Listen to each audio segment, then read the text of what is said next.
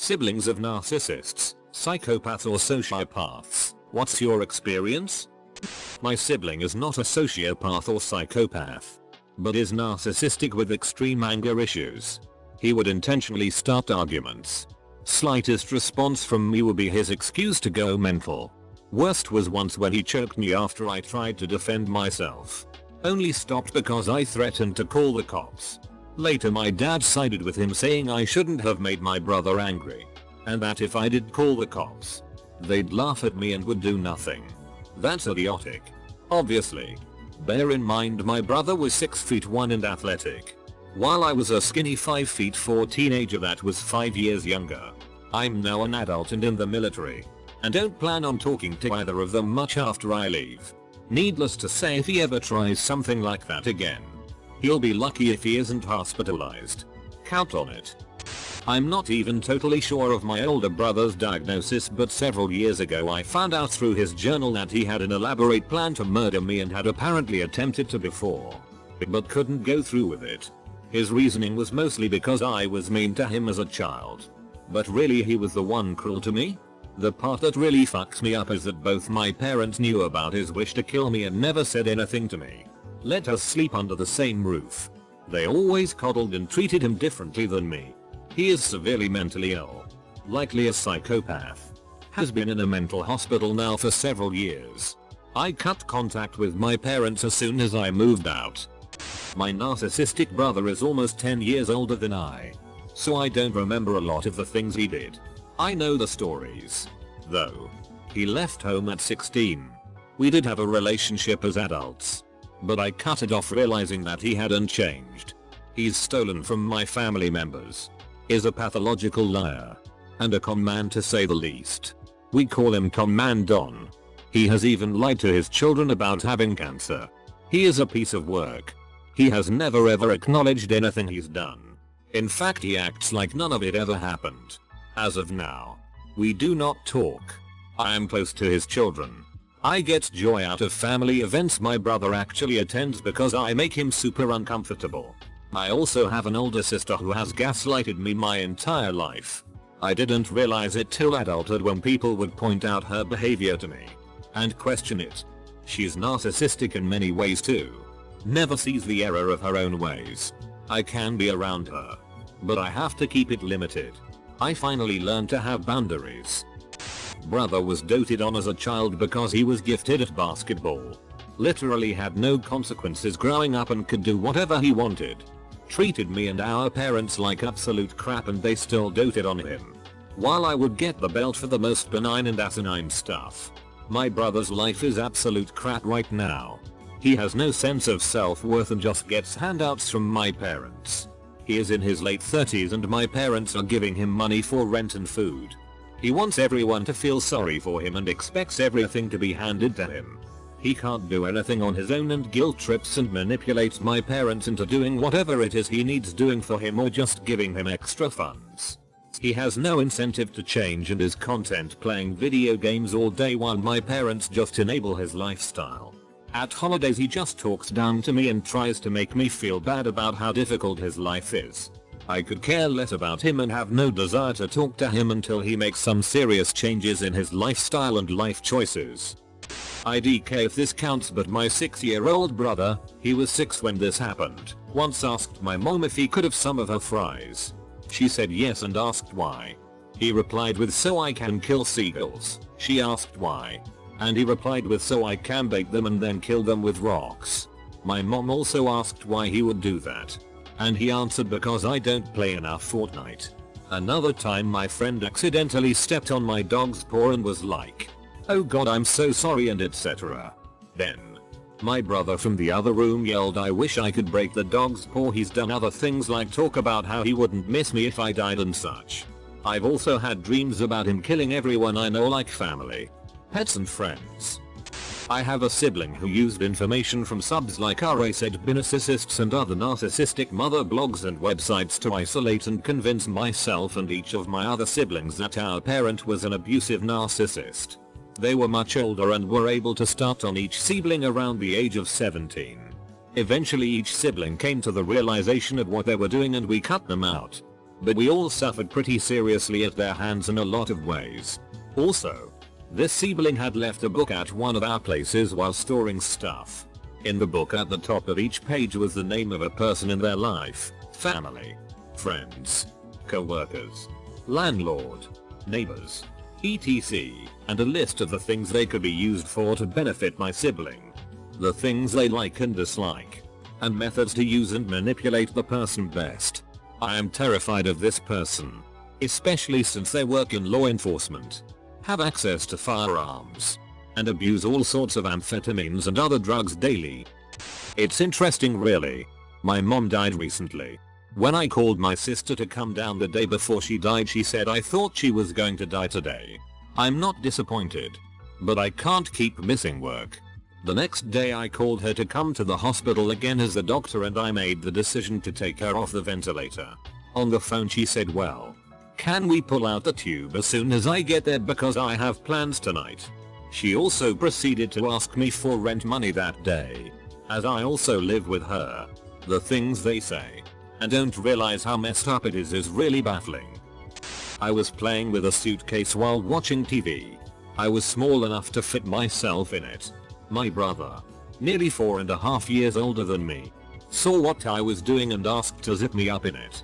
After already having learned to never trust him. I asked mom to watch us to make sure he didn't do anything stupid. He zipped me up inside the suitcase and started carrying it in a shuffle step.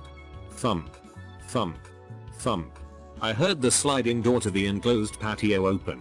Mum started screaming and I could hear her slapping my brother repeatedly. The suitcase fell over onto its side with me still in it. I managed to pry open the zippers from the inside and got myself out of the suitcase as quickly as possible. Mom was still slapping at my brother. Screaming why.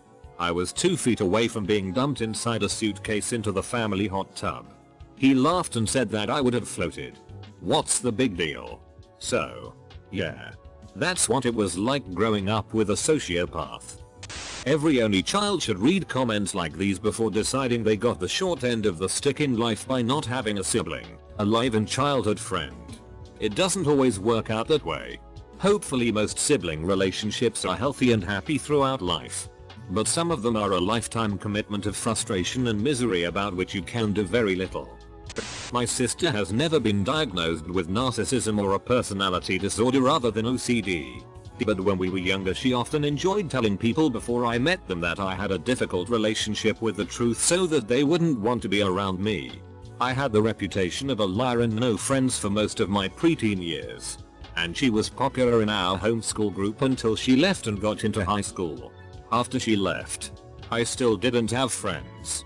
But neither did she and she blamed me for it during her frequent temper tantrums. She would throw things, scream, cry, and threaten me with kitchen knives on a pretty regular basis.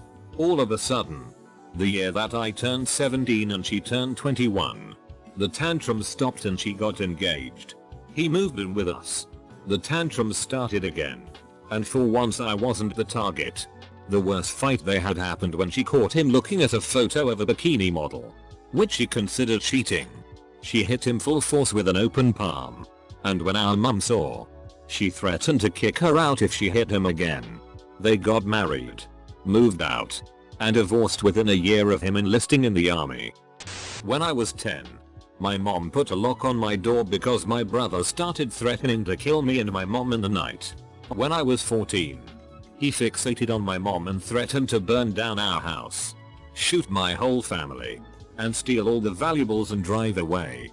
That same year, he was 17. He took our car and ran away from home for two weeks. We ended up calling the police on him. When he came home, the police decided that it would be best if he lived somewhere else so he did. As we were cleaning out his room we found hundreds of knives, a handgun, lighter fluid, gasoline and lighters. I'm not old enough to block him out of my life. He is abusive and autistic and has orderly known as Asperger's. He shows every warning sign only on a sociopath. And he threatens to kill me every day. Not a blood sibling. But my cousin I grew up in the same house with. We considered each other brother and sister. He committed suicide in 2016. And it wasn't until then I realized how fucked up he was. He was abusive to the family pets, throwing them across the room. Constantly said how he's going to end up in prison for killing someone. And made comments about how rape isn't rape if the woman isn't screaming and fighting back. When I was 6 to 9 he'd throw me into doors and tackle me to the ground. Choking me. Memories of that are far and few due to the gaslighting from the rest of my family. My sister has dialed down her act a bit. After we have all spent a few years out of our aging NPD arsehole father's house. I mostly remember a massive sense of entitlement that simply made no logical sense and would require a great deal of cognitive dissonance to explain. Like. She would never loan me things, CDs, EXE. But had no problem walking straight into my room. In front of my face. To take a bottle of body lotion to use on herself. She seemed to have no remorse for what her behavior did to others. So long as she got what she wanted out of the deal. Sometimes. She would just do and say mean and spiteful things for no reason. I talked to her from time to time. While as less of a self-involved sociopath, she still is insufferably self-righteous. Oh god where do I begin? She fed my hamster to our cat because I wouldn't let her name it. She woke me up when I was sleeping in my mom's bed by punching me and then proceeded to break my index finger with the door when I fought back. Just because she wants to sleep there that night. She also poured bleach over my clothes cause she was mad that I was doing laundry when she needed to. Honestly there's a whole lot more but those are some of the major stuff. My dad is a sociopath. He raised me. It's very difficult having basic friendships, relationships, holding a job, the way I was raised is extremely unconventional leading me to not react to normal situations as a typical person would. Not a sibling. A cousin. When I was 8 and my cousin was 7 I noticed my dog, Pug, missing one day. I only noticed after everything that she wasn't there that morning. I was going to ask my best friend to go play hide and seek with me. In my hiding spot I could hear my dog whimpering and as I looked for my dog, I found her with all of her teeth ripped out and scissors in her right eye. After minor surgery she is fine and, not to say I'm happy about it, she looks hella cute even with a stitched eye. I don't know what happened to my cousin but him and his parents were taken out of our lives forever. He never got a diagnosis. But he's good at deceiving. He always just tried to get all the attention. Cried to get me punished. So he could spend more time playing with my PlayStation. I saved my money for myself. I ended up being the black sheep. My mom constantly threatening to call child protective services.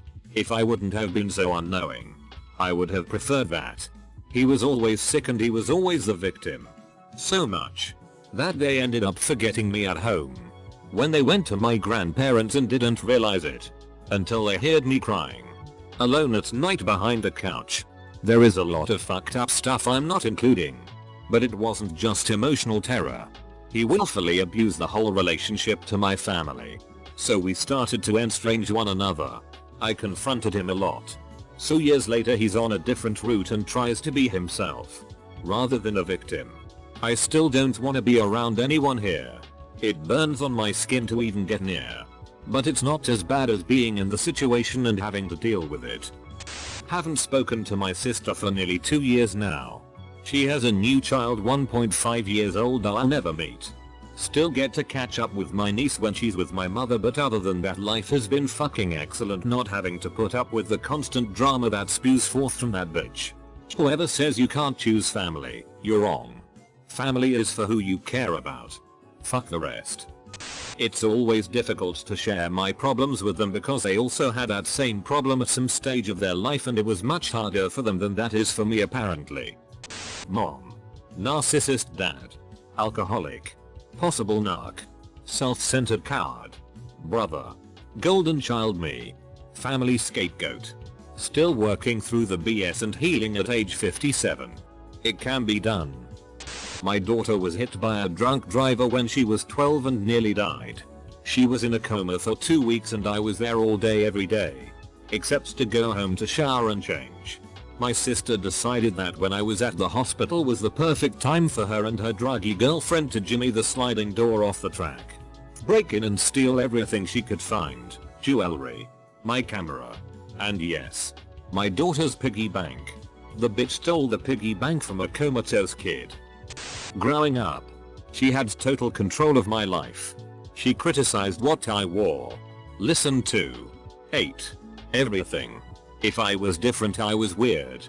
If I liked what she liked then I was copying her. She tried to scare me multiple times with guns and knives. Claiming she never would actually hurt me but she would hold up a samurai sword to my throat and tell me if I moved I died. Eventually she had that kid when she was 19 and I was 16. And for a year she was a good mother and then decided she didn't want to be a mom anymore. I've seen her ruin countless people's lives. Spanning from just stringing them along to drowning their bank accounts to contributing to them being put in jail for domestic abuse, she's still waiting for trial on her charge.